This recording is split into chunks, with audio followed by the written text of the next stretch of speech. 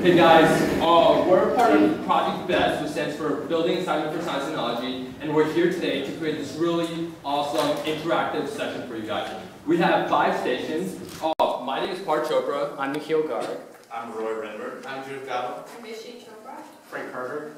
So we have five stations. For the first station, we're gonna learn about magnets, holograms, and lights and mirrors. So that'll be really cool. We have the second station, which deals with slime. So you guys actually get to make slime. Third, the third station is we're actually doing a chemical reaction. So we're gonna blow up a balloon. Like normally people blow up a balloon by just blowing into it, right? But that's so original. So we're actually gonna do something different. We're gonna blow up a balloon without using our maps. We're just gonna blow it with chemicals.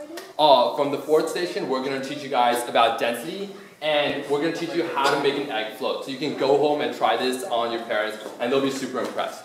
And then finally, for the fifth station, we have a balloon race. So you guys will actually be racing each other.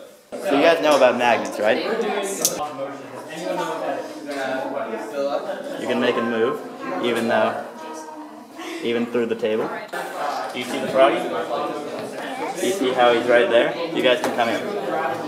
And we're gonna let Isn't that cool? Here, let them see. We get to go to other stations. Oh yeah, Yeah. it'll be a rotation. We get to go to all the other stations. Magnets. Okay. That's perfect.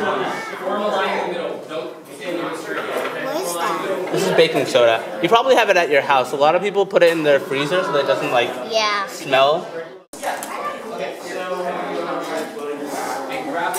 it up. Okay, see? So the more baking soda and the more vinegar you put, the faster and more the balloon's gonna inflate.